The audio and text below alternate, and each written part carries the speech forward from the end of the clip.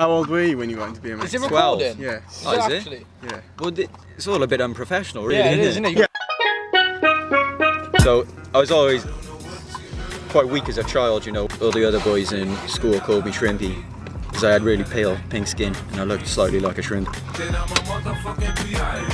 I mean, until I got into BMX, I really thought I'd end up dead or in jail. It's hard coming up in the streets of Barry snatch banana.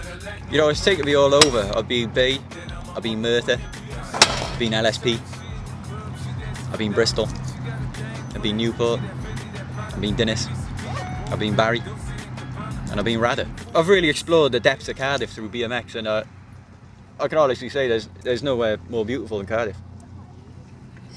It's just amazing, like. Everybody everywhere is scratching for what they can get. Do you think anybody here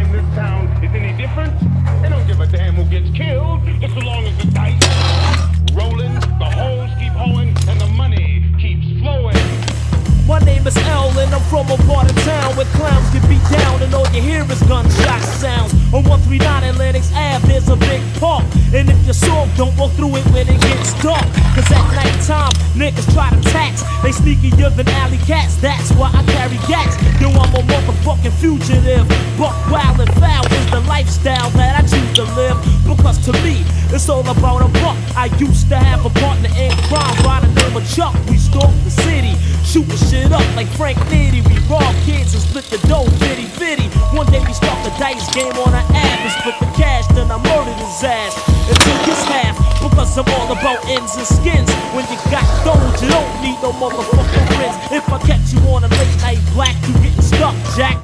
Life's a lot like being a duck. Sometimes you gotta fly, and sometimes you gotta sink.